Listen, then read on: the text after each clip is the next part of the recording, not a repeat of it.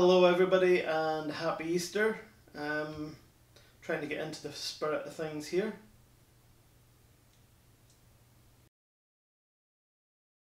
Hi, everyone. Um, for today's video, uh, I, first of all, I wanted to do a little bit of an update. I know I said I was going to try and do uh, a video every every day to start with, but I gave it a bit of thought, and I thought I'd probably overload everybody with videos and they get fed up if they hadn't already.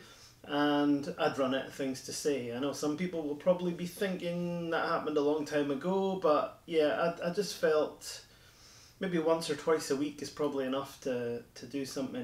I've also been working on a different, uh, separate project with my good friend and colleague Charlene O'Malley.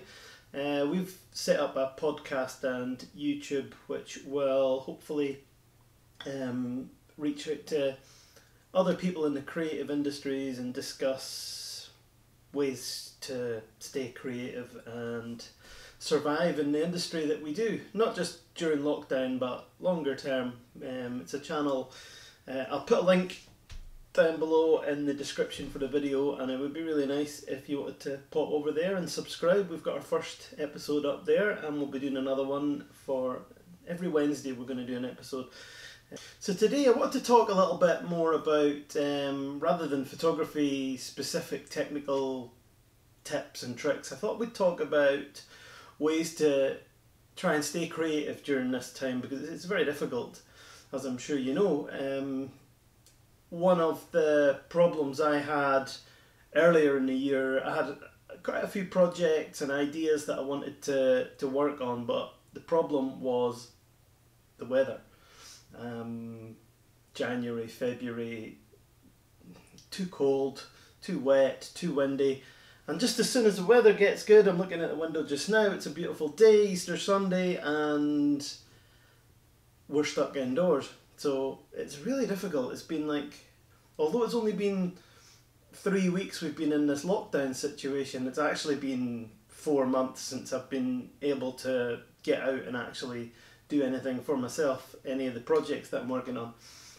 So I thought I'd speak a little bit about that and ways that people can get creative during times like this. One of the first things, um, we're all allowed to go outside and have a, a daily exercise. I've been going out cycling every day, so uh, that's been good.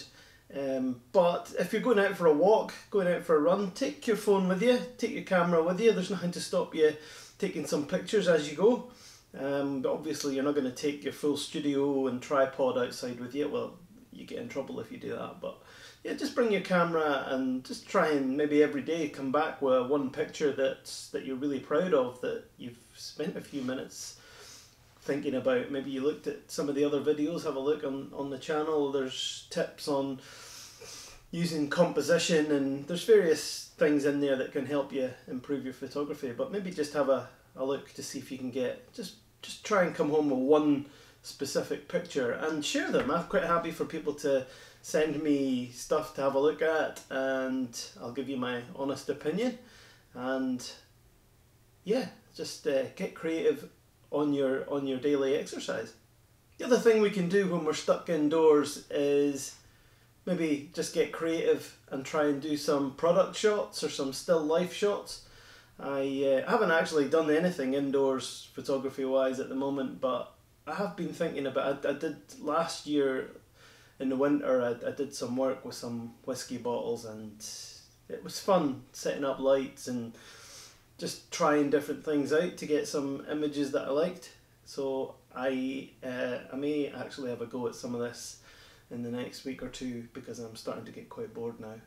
But yeah, you've always got things around your house that you can you can play around with and just just try using natural light. If you've got studio lights, use them. Just get creative and see what you can come up with. It's uh, it's amazing what you can do if you've uh, got your brain tuned in and want to get creative. And this is a perfect time where there's no pressure to be doing anything else. Switch off Netflix for an hour and clear your kitchen table and have some fun. The other thing I've been doing, which has been really therapeutic, I was working on some uh, training content. More will be revealed on that in the coming weeks. But I've been I've been trying, and even for these YouTube videos, I've been trying to pull out images that I can talk about and use to to illustrate different techniques in photography. And by going back into some of these old hard drives, I mean, I've got 30, 40 hard drives in boxes all around the place with all my images from when I, when I first went digital. So I've been going back, maybe not quite as far as that, but certainly the last five or six years worth of stuff just looking for images and it's been great. I, I've found images that I'd forgotten about, I've found images that I'd never even looked at. I'll go to a shoot and even while I'm taking the pictures I'll have favourites just on the back of the camera and I've already decided by the time I get home I've got a handful of pictures that I know I really like and I'll focus on them, work on them and I might totally disregard dozens, possibly hundreds of other pictures because I feel that I've already picked the best out.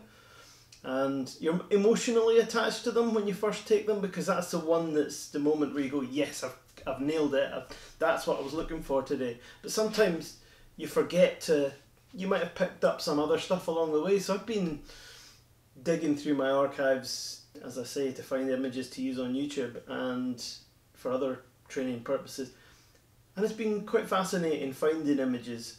I, I do this from time to time. I'll dig out a folder and, and find some images. So this is an idea to go into your archives and and pull out some of your images that you've you've maybe gone on a, a landscape shoot and had an absolute favourite, but there might be something else in there. Um, one of the folders I had most fun, and it's been very popular on Instagram. I've started sharing some of my pictures from my. I did a charity I volunteered to go over to Gambia uh, nearly five years ago now and did some work for a charity over there, photographing, documenting the work that their people were doing. I've been sharing some of the images from that, and it's been it's been quite fascinating going back through them again. And yeah, I'd, I'd, I'd almost forgotten about some of these images, but it's been really good. So yeah, have a, have a look through your, your older stuff because yeah, I'm quite quite pleased with a lot of these images that I took over there. I've also been revisiting some photo shoots, and I'm just gonna talk briefly about this one photo shoot I did with um, a model called Faith, who uh, travelled up from England, and I worked with her one day. And again, the same thing. I'd picked a few favourites at the time, and I'd actually won a couple of awards for for a couple of these pictures. But I went back into them because I was looking for something specific about lighting, and went into the studio images that I'd, I'd shot with her. Um, I say studio, it was just a, it's an old building that we, we worked in that was particularly cold, and I think we shot it in either January or February. So uh, it was a quite a quick shoot, but I've started going through these images and absolutely love them. And I did nothing with these at the time because I had other favourites. But just as an example of having a play around with images, I, I love this this first image of Faith. But then I thought I'd have a little play around with it, and I really liked it in this uh, black and white. It's a sort of warm black and white tone that I use in a lot of my uh, images. And then I thought I might crop it and see how it looked cropped. And then as I cropped it, I zoomed it in on the screen, then I thought, let's crop it a little bit more. And as I've come in and cropped it in and cropped it in, I've actually found I've now got four images from one image, all of which I really like, and they've all got lots of impact. So yeah, just get your images out, try different, try black and whites, try different effects on them, try different crops, have a play around with them, and just see what you can find. Because I think sometimes we don't realise how many good pictures we've taken on a day. So that's all for today. I just wanted to just some tips and some ideas for uh, if you're bored and if you're missing being creative like I am. So uh, yeah, just uh, see if you can do some projects, take some pictures when you're out and about, get your kitchen table cleared, find some items, whiskey bottles, gin bottles, jewellery, whatever you, you think might make a good picture and have some fun with it. And yeah, get back into your archives and see what you've got. And until next time, everyone stay safe and stay home and see you soon.